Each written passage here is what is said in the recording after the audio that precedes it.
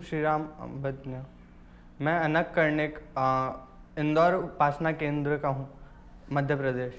आ, मैं बापूजी से कब जुड़ा ये मुझे ये तो मुझे पता नहीं क्योंकि मम्मी मुझे ज़बरदस्ती उपासना केंद्र ले जाती थी कि मैं मेरे छोटे भाई से झगड़ा न करूँ। हम दोनों लड़ते रहते जब देखो तब। आ, तो ऐसे ही ज़बरदस्ती के चक्कर में कब बापूजी से रिश्ता जुड़ गया वो ये तो पता नहीं चला। मैंने बारहवीं के बाद में होटल मैनेजमेंट का कोर्स कर कोर्स कर रहा हूँ जिसमें मुझे अलग अलग होटल में ऑन अ डेली बेसिस काम करने का मौका मिलता है। उसे आ, उसे हम ओडीसी कहते हैं आउटडोर केटरिंग यह बात थर्टी एट दिसंबर 2018 एटीन की है। दोपहर को मुझे मेरे दोस्त द्वारा फ़ोन आया कि होटल मैरियट में इवेंट है बार का, चलेगा क्या?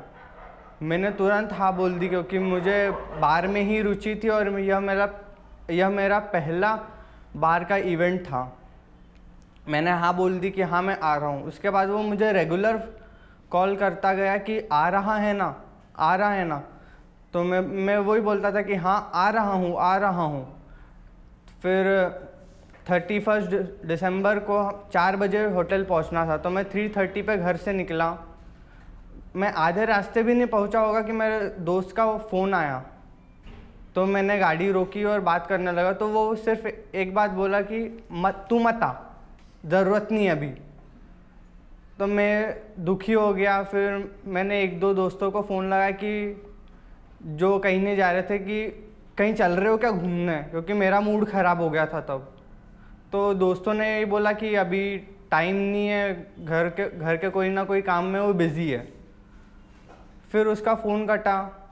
आम, मैंने मम्मी को फ़ोन लगा मम्मी को सब बता दिया कि ऐसा ऐसा हुआ है मैं घर वापस आ रहा हूँ। फिर मैंने गाड़ी चालू करी और मैं आधा किलोमीटर भी नहीं चला हूँगा कि मेरे एक्सीटर केबल टूट गई। एक्सलेटर केबल टूट गई, मैंने पापा को फ़ोन लगाया और बताया कि ऐसा ऐसा हुआ है, मैं नहीं जा रहा हूँ और मेरी एक्सलेटर केबल टूट गई है। वो आए, हम गैराज पे ले, गाड़ी लेकर गए और हमने गाड़ी ठीक करवाई। फिर ऐसे ही मैं दुखी था कि मैं कुछ कर ना लूँ, इसलिए बापू ने मुझे बाप, पापा के साथ में घर पे भेजा कि ये कुछ गलत ना कर दूँ मैं। तो ऐसा हुआ तो फिर अगले दिन मैंने मेरे दूसरे दोस्त को फ़ोन ला के पूछा कि वो भी जो इवेंट में गया था कि मुझे क्यों नहीं बुलाया?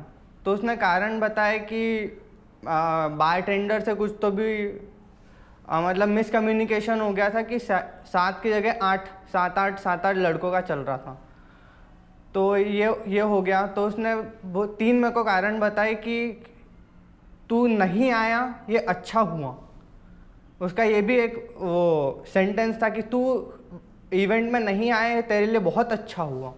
क्योंकि फ़र्स्ट ऑफ़ ऑल डीआईजी उस, वो बेटी, उसकी, उनकी बेटी भी थी, उसका मोबाइल फ़ोन घूम गया था और जिसका पूरा ब्लेम जो जो हम मेरे फ्रेंड्स गए थे, उन पे आ रहा था कि इन्होंने लिया है। सेकेंडली जैसे बार का लाइसेंस होता है कि ट्वेल्व बजे ट्वेल्व बजे ट्वेल्व नाइट तक ही वो सर्व कर सकते हैं। तो ऐसा ही था तो वो होटल वालों ने बाहर शट कर दिया। और जैसे लोग नशे में थे तो एक दूसरे को मार रहे थे, उनको मतलब शराब नहीं मिल रही थी तो। ऐसे लोग एक दूसरे को मार रहे बार काउंटर के अंदर आ रहे हैं तोड़ फोड़ कर रहे हैं कि हमें शराब चाहिए। ये हो गया दूसरी बात। और तीसरी बात ये हुआ कि जो इवेंट मैनेजर था, वो ऐसा था कि थोड़ी सी भी गलती हो जाए तो लोगों को मतलब जो काम करने आए हैं उनको मार देता था।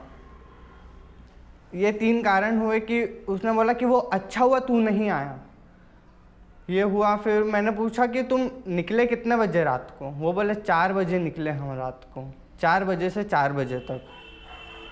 मैंने बोला, ठीक है। फिर हमारी फ़ोन हो गई, मैं फ़ोन काटा। फिर मुझे बाद में रियलाइज़ हुआ कि बापू ने मेरी एक्सलेटर केबल क्यों तोड़ी? अगर मैं चार बजे टूटती, सुबह के चार बजे टूटती तो मैं क्या करता? ऐसे ही छोटे मोटे अनुभव आते रहते हैं।